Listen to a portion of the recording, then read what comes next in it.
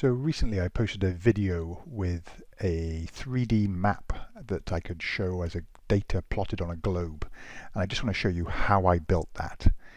The first thing to do is you need to install 3D maps. Now I'm in Office um, 365 Excel version and but 3D maps is available in previous versions of Excel as well and I just need to go and enable the add-in.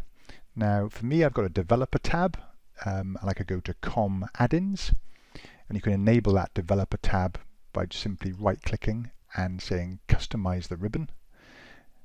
And then you just go and tick this developer tab. Otherwise what you can do is you can go to file options add-ins. Click on the drop down com add-ins and click go. And either of those options would take you to this screen and I'm going to turn on Power Map for Excel. Then, under my Insert menu, I've got this thing called 3D Maps.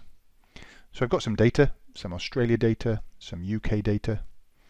Um, we've got Perth, Melbourne, Adelaide in Australia, and we've got Swansea, Cardiff, and the lovely town of Llanfair, Pwllgwyngyll, Gogarell, Llwndwbl, Llantyslio, Gogogoch. Real place as we'll now see, and I will put all this data onto a 3D map. So I click the 3D map button, I'm inside my table, and it's then plotting the data, and it's already worked out that city should be the city, and that country should be the country and region.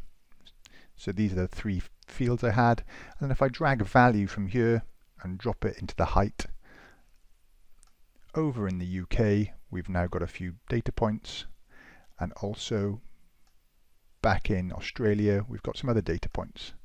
It really is that straightforward. So I'm just going to change the theme of this and you've got a choice of different themes. Let's go for organic, shall we?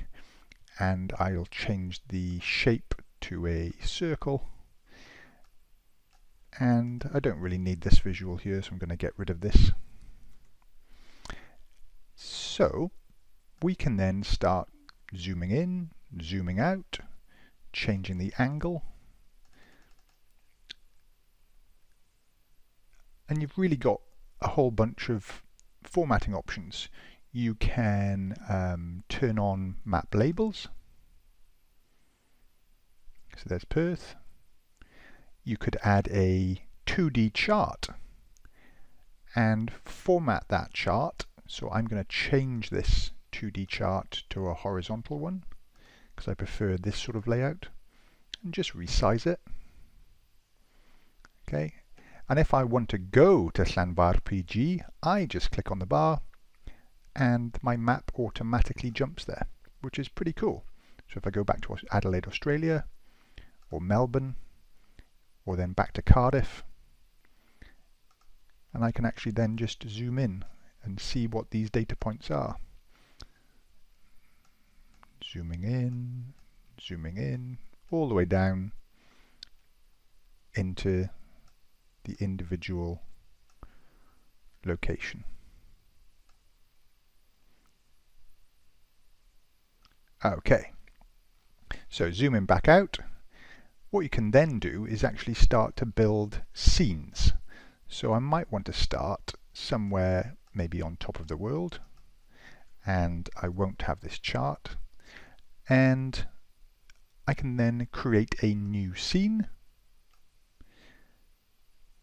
This first scene I'll then do the settings and say this first scene is going to last for three seconds and the effect is it's going to rotate the globe. Actually maybe make it six seconds. Then I'll go to the next scene and I will say this scene will last five seconds and I'll actually zoom in to these data points here and I'll change the angle a bit. Okay and we'll use the effect of the push in. Then I'll create another scene.